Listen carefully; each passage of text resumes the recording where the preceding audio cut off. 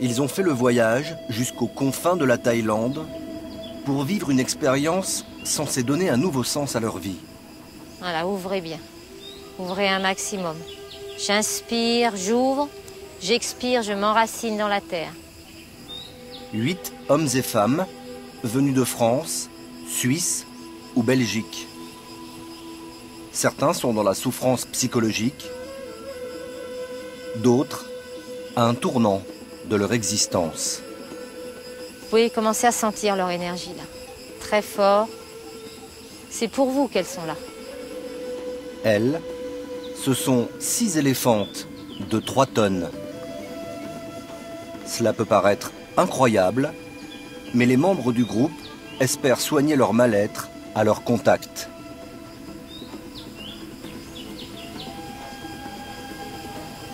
Vous allez être attiré par tel et tel éléphant, vous laissez faire, et après vous saurez à ce moment-là si vous avez envie de monter ou pas monter.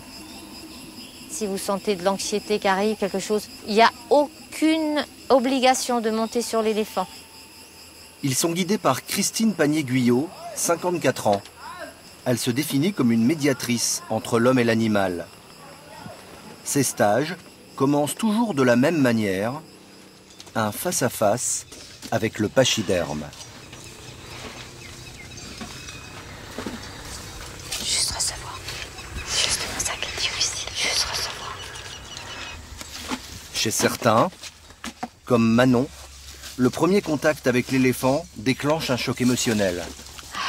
Tout sur là, voilà, voilà. Et là tu ressens. Christine a inventé cette méthode unique au monde, l'éléphanthérapie.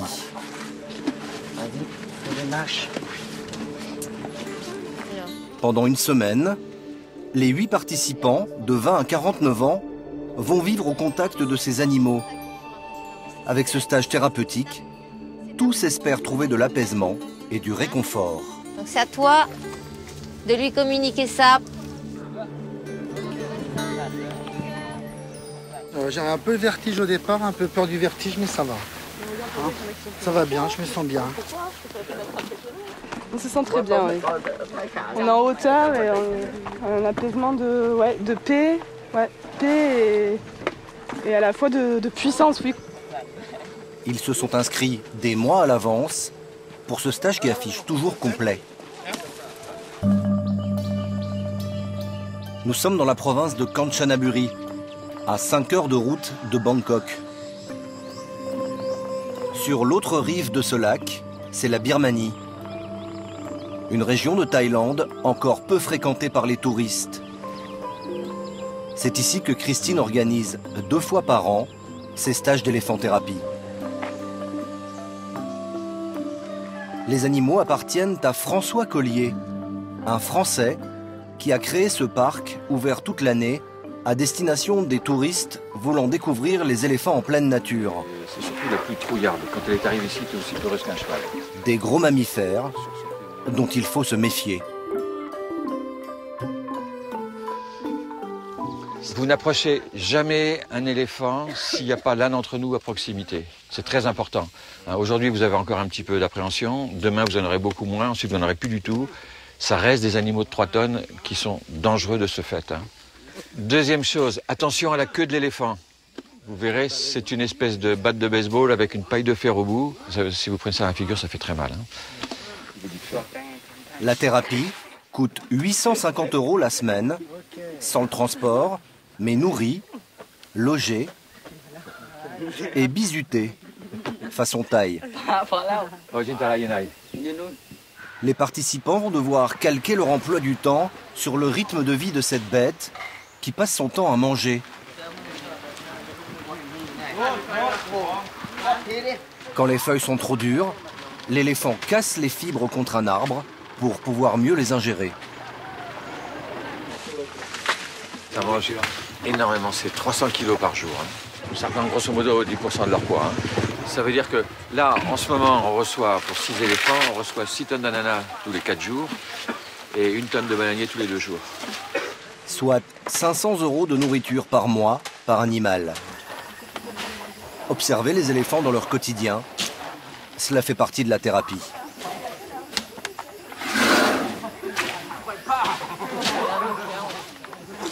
Loin du stress, dans le silence de cette forêt thaïlandaise, il se reconnecte peu à peu avec la nature.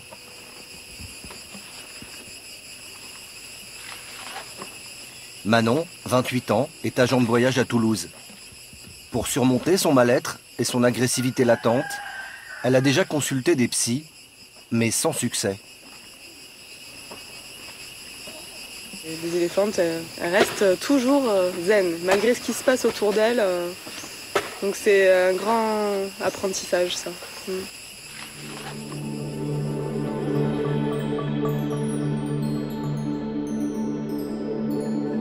Le groupe, il y a Florence, institutrice en Corse, qui à l'approche de la cinquantaine voudrait changer de métier.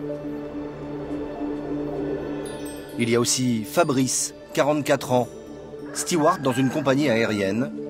Pendant huit jours, il va mettre de côté tablette, téléphone portable et vie stressante en région parisienne. moi, je sais que je suis un carrefour, je dirais, de mon existence. Il y a beaucoup de gens, je dirais, qui sont en demande, qui se cherchent. Et je pense que les, comment dire, les, les animaux peuvent nous aider. Dans son enfance, il dit avoir souffert d'un manque d'attention de ses parents, un sentiment d'abandon qu'il pense combler au contact de Moulet. Moulet, c'est l'éléphante qui s'est dirigée d'elle-même vers lui le premier jour. Depuis, il s'est pris d'affection pour elle et il pense que c'est réciproque. Pour un esprit euh, purement cartésien, c'est peut-être un peu plus difficile à comprendre, mais euh, je peux vous garantir que c'est bien réel, ouais, qu'on le veuille ou non. Tous ont connu Christine Panier-Guyot grâce aux bouches à oreilles.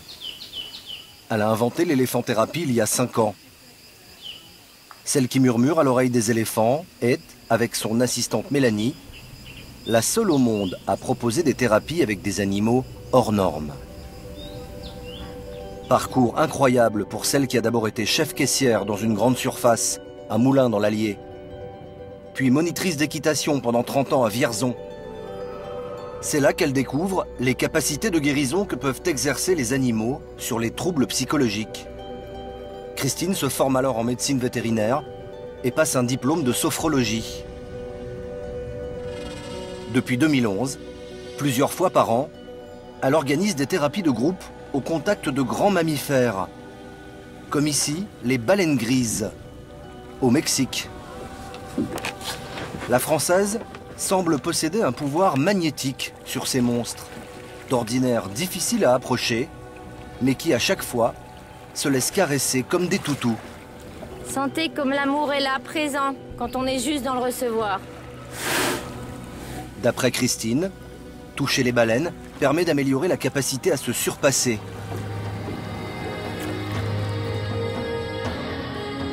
Les orques, des animaux potentiellement dangereux, sont censés aider à surmonter nos peurs. Au Québec, elle découvre les belugas qui, comme les dauphins, apporteraient joie et fluidité dans nos esprits. Il nous fait des sourires. C'est beau. Oh là là.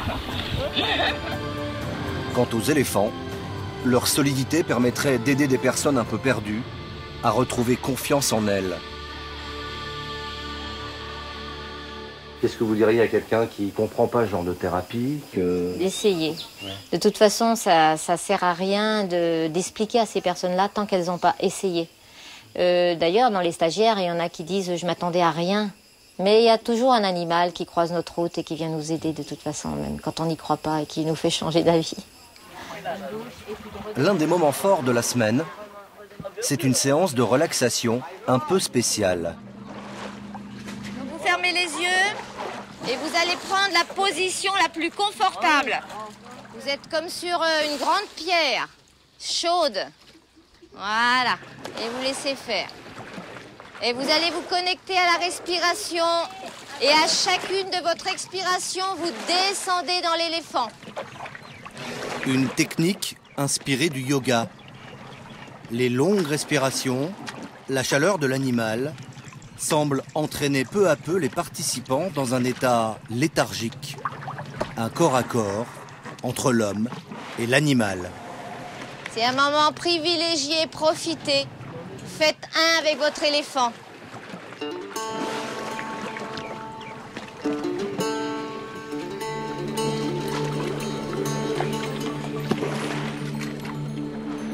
Trente minutes plus tard, les pachydermes sortent de l'eau.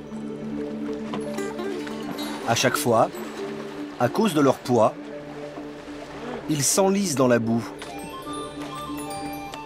Mais leur grande puissance leur permet de traverser ce chemin difficile. Pour Christine, c'est une métaphore destinée à montrer aux stagiaires qu'eux aussi ont la capacité de franchir des obstacles dans leur vie.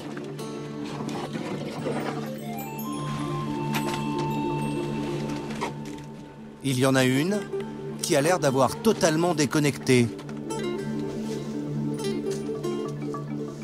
C'est Catherine. Si on va y aller, il faut aller doucement avec Catherine. Catherine, elle est partie loin avec Tongden. Tu reviens tout doucement dans ton corps d'humain, Catherine. Doucement. Voilà, tu la caresses pour la remercier. Caresse Tongden, voilà.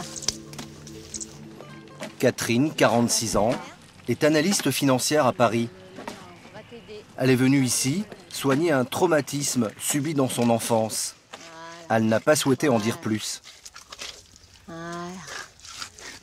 Cinq minutes plus tard, elle redescend sur Terre et va pousser d'une manière spectaculaire ce qu'on appelle le cri primal, le cri du nouveau-né.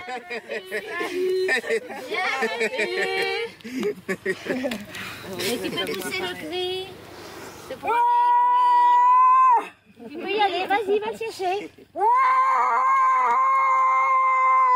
Vas-y, vas-y, il est là, encore au fond.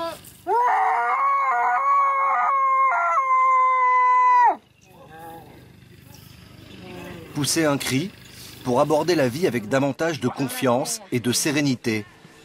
Une technique empruntée à une méthode de développement personnel, le rebirth.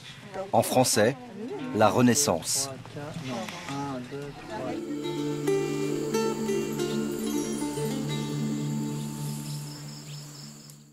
Grâce à ces stages, qui ont lieu en novembre et mai, la basse saison en Thaïlande, François, le propriétaire du parc, arrive à boucler son budget.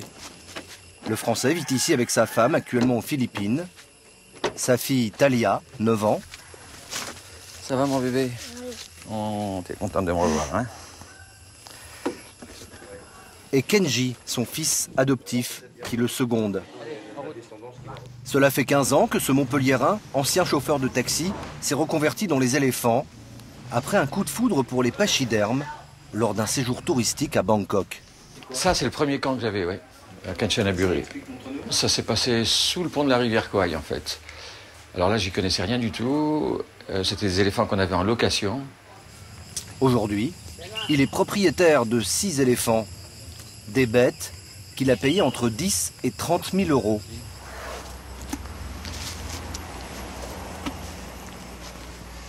Euh, elle s'appelle Gintala, c'est le nom d'une chanteuse locale. Euh, elle doit avoir, euh, je sais pas, à peu près 65 ans, elle est plus toute jeune. hein. Gintala est en pleine forme, ce qui n'était pas le cas lorsque François l'a racheté il y a trois ans. Sur ces images, on la voit squelettique, à bout de force. Elle a perdu presque la moitié de son poids à cause du travail forcé qu'elle subissait alors dans un parc animalier, comme il en existe des centaines dans le pays. Car en Thaïlande, les éléphants sont souvent utilisés comme des bêtes de foire. Ils doivent savoir jouer au basket, lancer des fléchettes ou encore se trémousser sur les derniers tubes à la mode.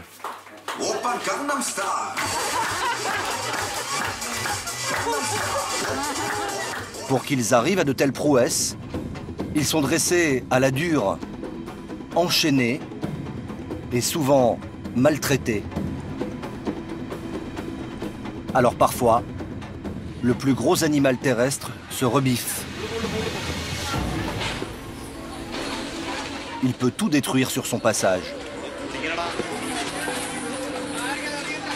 Un éléphant, et ce n'est pas une légende, se souvient très longtemps de la personne qui lui a fait du mal.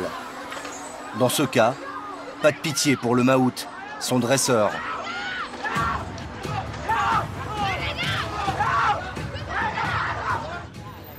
Dans le parc de François Collier, deux spécimens ont un lourd passé.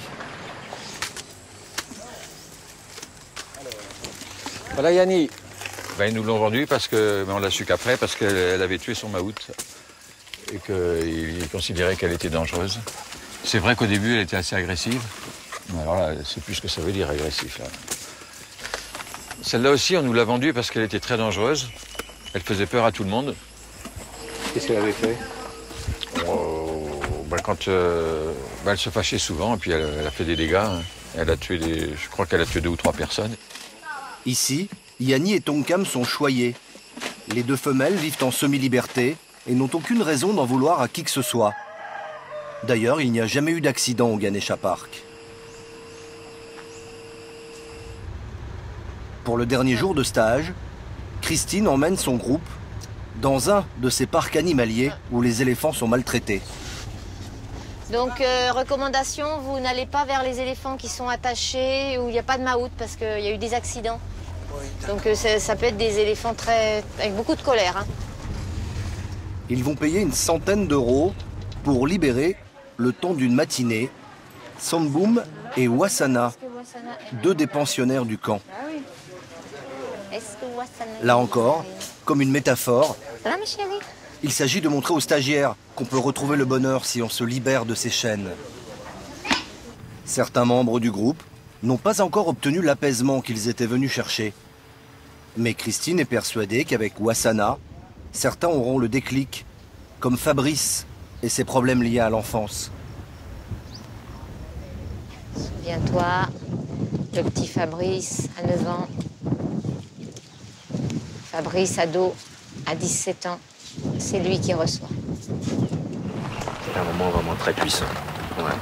Il y a eu une, euh, une espèce de reconnexion, une ouverture. C'est difficile, je dirais, de placer des mots sur ce qui vient de se passer. Après les éléphants, les baleines et les orques, Christine a un nouveau projet. Emmener un groupe l'année prochaine dans le Grand Nord canadien pour une thérapie avec les narvals, l'un des mammifères marins les plus rares au monde.